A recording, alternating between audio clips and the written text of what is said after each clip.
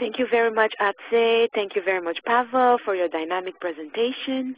We had indeed uh, quite a few questions, so I will just present them.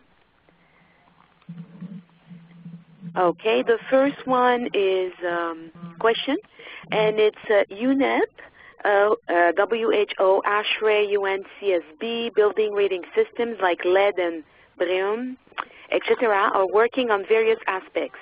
How your work is inclusive of all these organization work? Who would like to answer? Well, it's probably a question to me. Um, well, I would say that our work should be included in their work. Uh, this is, should be the other way around. Um, what we suggest is the roadmap or the uh, systematic approach to design the ventilation requirements based on the defined criteria for the exposures uh, using the WHO. There is a close connection to the WHO. Even ASHRAE is referring to WHO, and some of the uh, rating systems are doing uh, the same.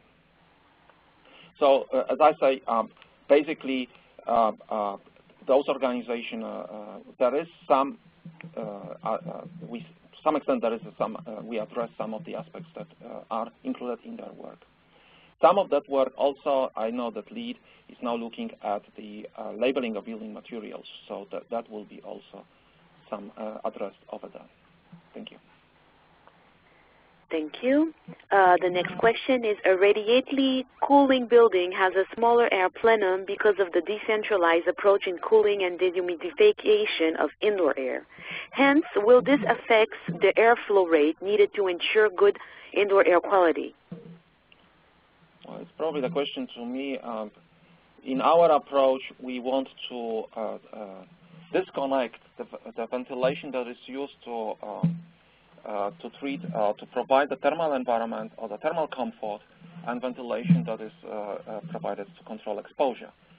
So uh, no matter how you design your plenum, you need to design it so it delivers the, the air that is required because of the health aspects or to control the exposures uh, based on the health endpoints. Thank you. Um, the next one is how you intend to export this technology, this work, to developing nations. Maybe I, I can shortly react to that. please. Yeah. Um, I'm just remembering uh, some schools I saw a few years ago in Nepal, for example, and, and I'm very aware that there's other other problems in, in developing countries than just indoor air quality, for example, uh, just having books and, and things to write with.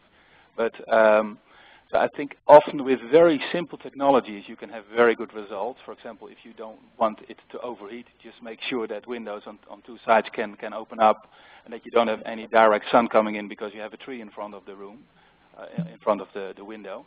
I think generally you can say that, that specific technology uh, should, should, should tune in with what's possible on the location and what the budgets are and, and, uh, and, and, and so that's you can say in general this technology works everywhere. Thank you. Um, do you want to react, Pawel? Well, I, I think there's a lot of questions, but it's an excellent question. I think uh, be, be creative in the developing nations. Remember, air quality, ambient air quality is important when you use uh, passive, uh, passive symptoms, sim, sim, sim, systems to provide the air. But of course, be creative. Don't rely only on air conditioning and ventilation because it may not always be, you know, the right solution. That's Thank you. Uh, why is there a lot of differences in the flow chart? Each European country has a different regulations. Maybe health is in, in, in each country is considered in a different way.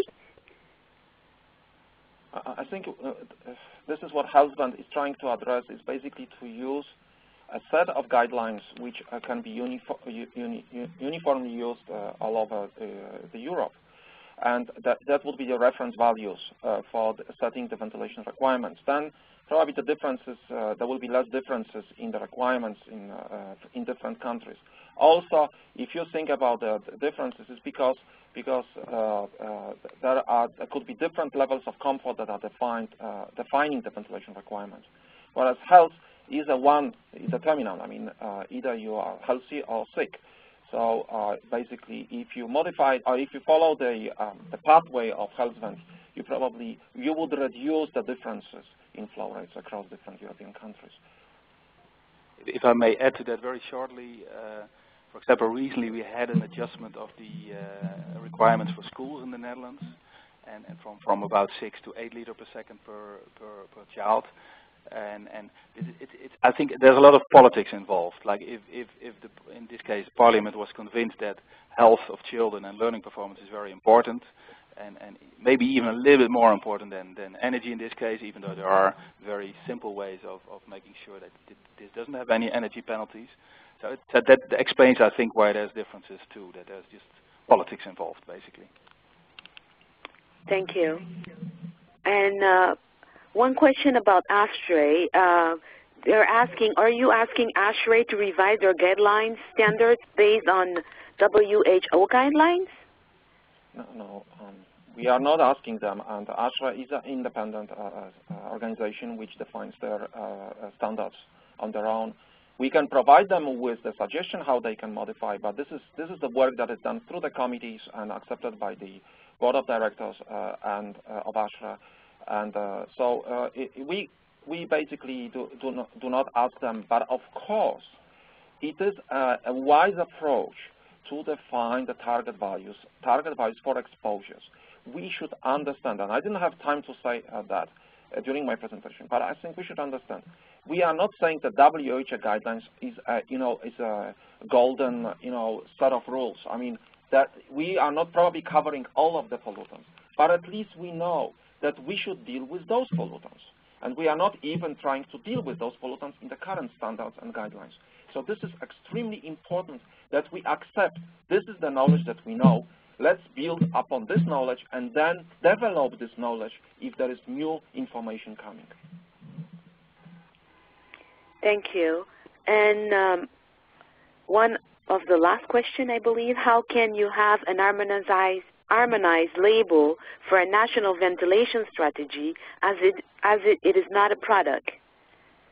Yeah, maybe I can can react to that. Uh, I think it's an excellent question, this, and and in my experience, it's it's, it's quite difficult to force people designing and installing ventilation systems, whether it's a national uh, um, uh, let's see, um, whether it's natural ventilation or mechanical ventilation. Uh, what is very important is that if, if uh, for example, a, a, school board asks somebody to design their school, that you give them very clear requirements. So you have performance requirements that tells people constructing it that it should not be too noisy, below 35 decibel, and it should have this and this amount of air, and it should not have any overheating in summer, etc. So you give them performance criteria, and basically that you uh, there's a relation with cost. Of course, the investment cost should should should uh, be okay for that quality level you're aiming at, and then just make sure after it's delivered that you first measure if they give the, the performance as required, so that, for example, noise level is below what you wanted it to be,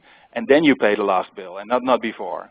So it's very much about not describing exactly how to do things, but more about making clear what the performances are that you are after. I think we should understand and try to make sure that we consider the buildings not as a uniform, you know, as, a, as a, just envelopes that uh, uh, basically separate us from uh, the outdoor environment. That buildings have different purposes. Schools are to, for children to, to, to learn something. Offices are for people to basically do some, some work, and uh, residential buildings are to, for leisure. And I think that should also, to some extent, be reflected in the uh, ventilation requirements. Nevertheless, despite of saying that, I should say that health is a uniform uh, value in all of those, across all of those buildings.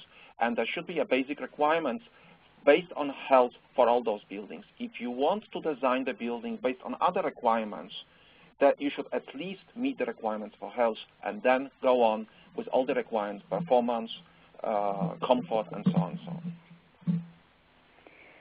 Thank you, Pawel, and thank you, Atze. Um, I think us. that's all the time we have for the questions.